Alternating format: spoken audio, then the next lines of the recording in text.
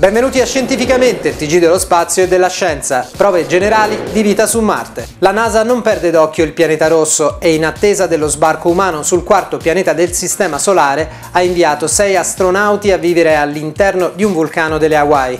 La squadra resterà per otto mesi all'interno di una cupola geodetica dentro il vulcano Mauna Loa per affrontare delle difficoltà simili a quelle che troverebbero su Marte, oltretutto verificando anche la loro capacità di vivere per lunghi periodi in uno spazio ristretto.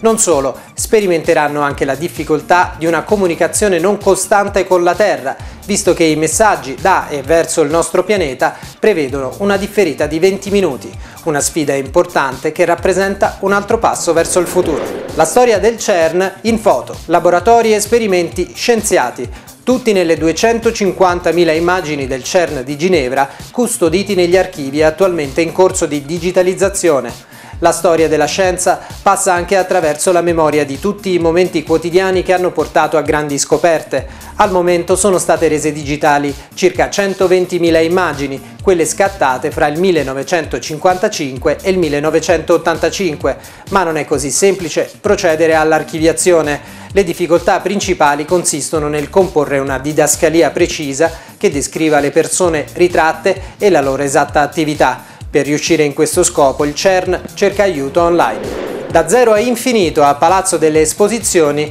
a Roma, ecco numeri. I numeri irrazionali, il segreto del cerchio e del pi greco, il concetto di infinito, le macchine di calcolo e i moderni computer, gli enigmi dei numeri primi, il tutto spiegato attraverso l'esposizione di pannelli esplicativi, installazioni interattive, oggetti curiosi e calcolatori storici e moderni, come la macchina Enigma usata per i messaggi in codice durante la Seconda Guerra Mondiale, ma anche una serie di lezioni con esperti e matematici. Queste le caratteristiche della mostra Numeri, tutto quello che conta da zero a infinito, al Palazzo delle Esposizioni di Roma fino al 31 maggio 2015. L'obiettivo della mostra è avvicinare il mondo dei numeri al grande pubblico attraverso una rassegna spettacolare di immagini e oggetti di comprensione accessibile. Sotto il Gran Sasso, il cubo più freddo dell'universo. Per 15 giorni una struttura di rame di un metro cubo di volume è stata la più fredda dell'universo. È successo ai laboratori nazionali del Gran Sasso grazie all'esperimento Cuore, dove la struttura ha raggiunto la temperatura record di 6 millikelvin.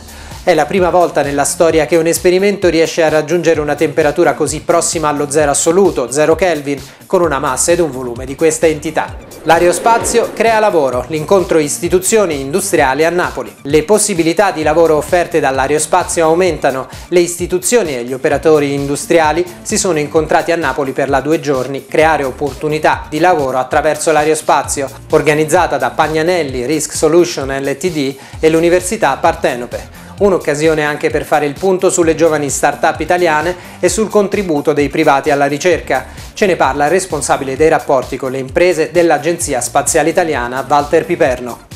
Beh, un ruolo decisivo nel senso che le agenzie pubbliche e l'Unione Europea si sono spesi nella realizzazione molto costosa di questa infrastruttura satellitare.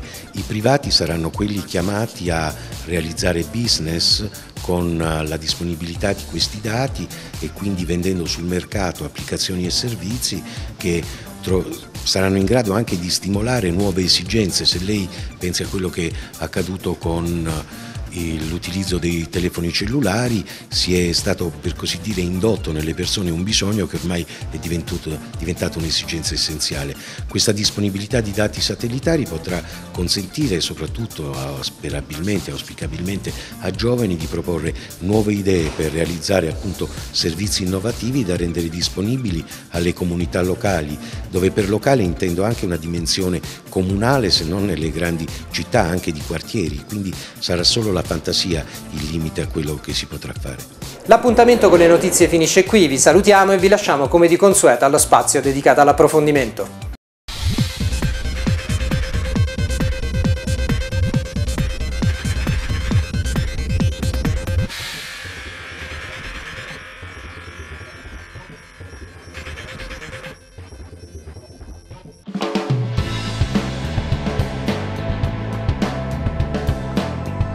La pulsar più luminosa mai vista è stata localizzata nella galassia M82 a 12 milioni di anni luce da noi e a scoprirla è stato un ricercatore italiano, Matteo Bachetti, Poco più di 30 anni, una laurea in fisica e un dottorato all'Università di Cagliari, Bachetti, che attualmente è assegnista di ricerca all'INAF, stava lavorando a Tolosa, all'Istituto di ricerca in astrofisica e planetologia, quando ha individuato una sorgente ultraluminosa e di raggi X molto diversa dalle attese. L'idea era che un'emissione così potente potesse arrivare solo da un buco nero, e invece al suo posto c'era una pulsar, cioè una stella di neutroni.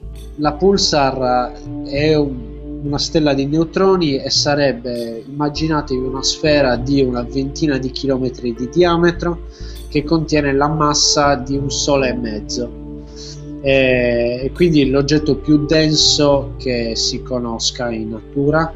Eh, diciamo che può essere anche considerato un po' un buco nero mancato, nel senso che se fosse appena il doppio di, di, quella, di quella massa non sarebbe in grado di sostenere il proprio peso e collasserebbe. Eh, quindi immaginatevi ecco, di avere in un cucchiaino il peso di, dell'intero genere umano e questa è la densità di questi oggetti, sono qualcosa di molto particolare. Questa scoperta potrebbe avere il peso giusto per assestare un colpo alle tradizionali teorie sull'evoluzione dell'universo. Di certo può cambiare l'approccio allo studio della radiazione stellare. Per questi particolari tipi di oggetti uh, dipenderà molto da quello che riusciremo a, a capire sia il meccanismo con cui questa radiazione viene emessa. Ci sono un paio di ipotesi in corso. Uh, una delle ipotesi è che effettivamente uh, noi stessimo considerando troppo importanti dei limiti classici eh, che in realtà non valgono. Eh, appro- questa, capire che effettivamente questo è il caso vorrebbe dire anche dare un, dare un po' un colpo ai nostri modelli di evoluzione eh, dell'universo perché se si scopre che anche i buchi neri possono accrescere materia a questa velocità vuol dire anche che i buchi neri possono crescere molto più velocemente di quanto non pensassimo e questo va tenuto in considerazione perché la crescita dei buchi neri è ciò che influenza eh, alla fine l'evoluzione dell'universo. E... Ci sono anche altri modelli ovviamente quindi che hanno meno implica- implicazioni meno gravi diciamo e quindi tutto sarà allo studio successivo. Lo studio sulla pulsar più luminosa di sempre è stato condotto grazie al telescopio NUSTAR della NASA ed è finito anche sulla prestigiosa rivista scientifica Nature. E dire che all'inizio sembrava incredibile che una sorgente così brillante potesse coincidere con un oggetto così piccolo, ma poi, racconta Bachetti, quel segnale che pulsava è diventato inequivocabile, non poteva trattarsi di altro che di una pulsar. Una stella nata dalle ceneri di una supernova, la cui luce viene spesso paragonata a quella di un faro marittimo in questo particolare caso uh, delle pulsar che stanno accrescendo materia, cioè stanno diciamo, diciamo mangiando della materia de, di una stella compagna, quello che succede è che la materia si avvicina alla stella dei neutroni e invece che caderci sopra normalmente viene catturata dal campo magnetico della stella. Il campo magnetico di queste stelle è fortissimo ed è capace di catturare questa materia e portarla tutta in un punto, che sarebbe il polo magnetico. Solo che il polo magnetico, come la stella ruota, ruota anch'esso. E quindi si ha questa pallocchia caldissima che emette questi raggi X che ruota con la stella e fa il famoso faro. No? Ora il lavoro dei ricercatori va avanti con tutte le incertezze e le opportunità che la vita degli scienziati comporta. Nel nostro lavoro siamo abituati all'idea che si deve partire da qualche parte e non è detto che si tornerà.